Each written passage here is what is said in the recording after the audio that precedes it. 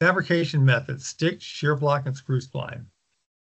Welcome to Building Knowledge 101. In this video, we cover the differences between typical fabrication methods, stick, shear block, and screw spline.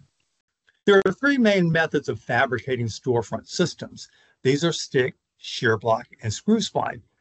With the stick method, the head and the sill run through and act as receptors with a vertical set within them.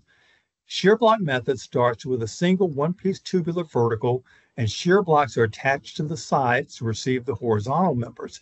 This method allows you to pre-build a punched opening that is two, maybe three bays wide. The far more common and economical method is screw spline. This consists of two-piece split verticals which allow you to pre-build columns or modules off-site and carry them assembled to the project. The advantage of that is that we're shifting more labor to the shop and out of the field.